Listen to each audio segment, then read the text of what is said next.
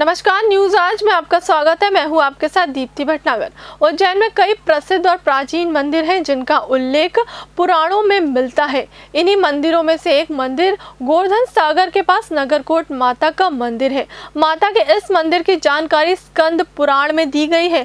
स्कंद पुराण के अवंती खंड में बताया गया है कि नौ मृतिकाओं में से सातवीं कटोरी देवी है। नगरकोट माता के मंदिर में कई अवसरों पर श्रद्धालुओं का तांता लगता है, लेकिन नवरात्रि में यहाँ श्रद्धालुओं की भारी भीड़ उमड़ती है। सुबह शाम मंदिर में ढोल नगाड़े और घंटियों की गूंज के साथ माता की भव्य आरती होती है। बताया जाता है कि अवंतिका नगरी राजा विक्रमादित्य की नगरी थी, जहाँ पर माता का मंदिर स्थापित है। इसी वजह से माता को नगरकोट महारानी भी कहा जाता है। विक्रमादित्य ने राज्य के यश, सुख, शांति और वैभव के लिए माता के मंदिर की स्थापना की थी। मान्यता है कि इस प्राचीन मंदिर में जो श्रद्धालु माता का दुर्गाभिषेक कर दुर्गा सप्तमी का पाठ करे और पूजा अर्चना करता है, उसकी सभी मनोकामना पूरी होती है।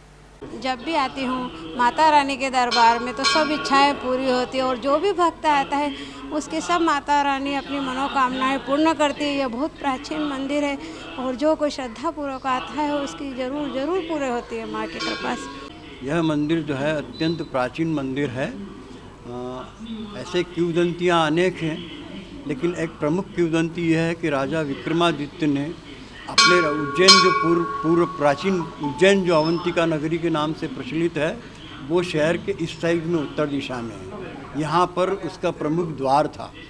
तो नगर कोट के उनके नगर के कोटे पर ये विराजमान थी, इसलिए इसका नाम नगर कोट पड़ा है। और देवी देवताओं को मतलब देवी शब्द लगा हुआ है, संतोषी देवी, पार्वती देवी, लक्ष्मी देवी वगैरह वगैरह। लेकिन इसके नाम के साथ में महारानी शब्द जुड़ा हुआ है। ये नगरकोट महारानी है।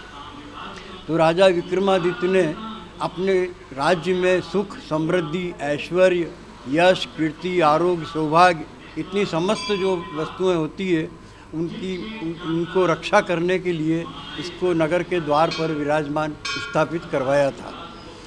और दुख दारिद्र वगैरह कोई अंदर नहीं आया राज में, और वो ये मान्यता शुरू से आज तक चली आ रही है।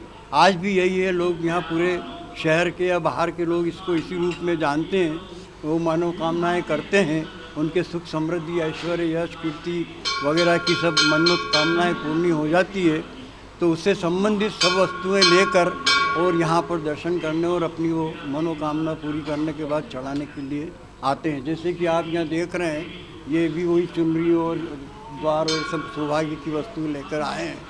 तो इस प्रकार ये इसकी मान्यता है साहब। अब नगर कोट में इस मंदिर के सामने कुंड बना हुआ है।